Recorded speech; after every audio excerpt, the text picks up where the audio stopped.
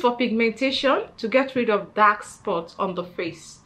So you need to put this in the bottle because you'll be making use of this every day for at least seven days for you to get rid of your pigmentation hyperpigmentation. I'll use this one to show you how to make use of this okay? To preserve this you have to put this in a fridge. You have to put this in a bottle or a bowl and put in the fridge every morning you make use of this. You apply this on your face or where you have hyperpigmentation on even skin tone.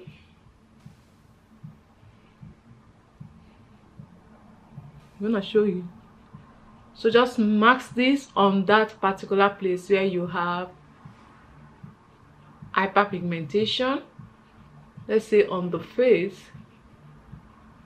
exactly this place so you apply to get rid of your pigmentation. This also helps to treat pimples. So I apply this on the pimples.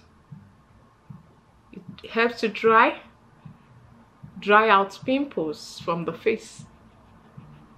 So you apply this.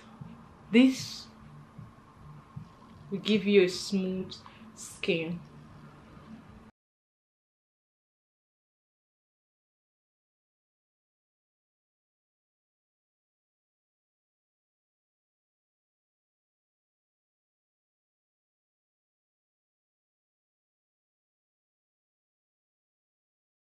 so when you finish applying this on your hyperpigmentation or where you have flaky skin measles ringworm this helps to get rid of all of this skin problem.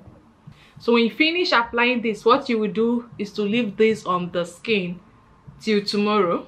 This has to be on your face overnight all right to remove the skin problem leave it on your face till tomorrow morning. Tomorrow morning you wash you wash your face with water. This is very good and this will help to remove all your dark spots pigmentation hyperpigmentation uneven skin tone measles ringworm and flaky skin.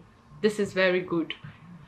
Go and try this. You have to use this for at least seven days every night for seven days. Even before the seven days before three days you will see result but to get a very clear skin a very smooth skin you need to use it for at least seven days and you will see results. I'm gonna be seeing you again in my next video.